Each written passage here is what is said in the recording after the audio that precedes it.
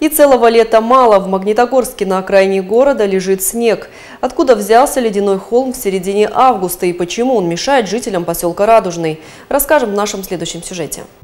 Холмы на полях не редкость, но здесь, в 50 метрах от улицы Жукова, под слоем пыли и мусора скрывается настоящий снег. На этом участке расположен специальный полигон. Зимой сюда свозят тонны снежных масс со всего города после уборки улиц. Гора была где-то высотой 20-30 метров, точно не скажу. Максим Нестеров, житель поселка Радужный, рассказывает, весной талые воды размывают дороги между домов, а летом объездной путь к ним. И это не говоря о мусоре, которым, как одеялом, укрыты окрестности. Начали выгружать снег, КАМАЗы выгружали снег вместе с перемешкой с мусором, выгружали в это место. Ну и с прошлого года снег еще даже не растаял, вот уже середина августа, а снег до сих пор э, тает.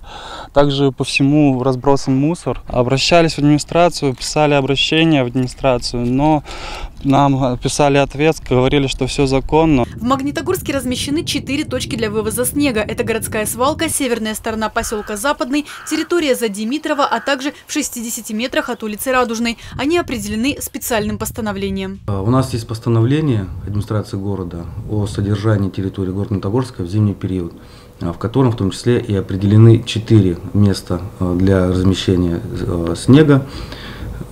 Причем хочу сказать, что эти места все согласованы у нас с Роспотребнадзором. Да, существуют определенные требования. Вот, э, эти требования у нас как раз-таки за ними Роспотребнадзор и следит.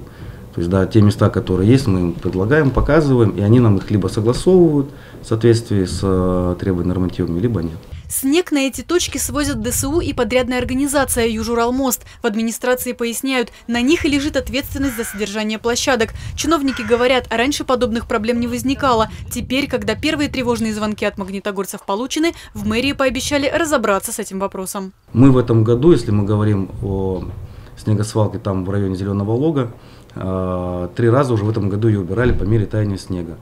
У нас в планах э, в течение месяца ее полностью ликвидировать в этом году, в этот зимний период, снега было больше норматива. То есть, ну реально, снега было больше, поэтому э, снегосвалка э, тает у нас чуть дольше. Ликвидировать свалку обещают к середине сентября, однако гарантии, что подобное не повторится в следующем году, нет. Эти участки используют в качестве полигонов уже много лет, а потому в мэрии отметили, будут искать альтернативные площадки для вывоза снега. Мария Клименко, Александр Моргунов, информационная служба медиагруппы «Знак».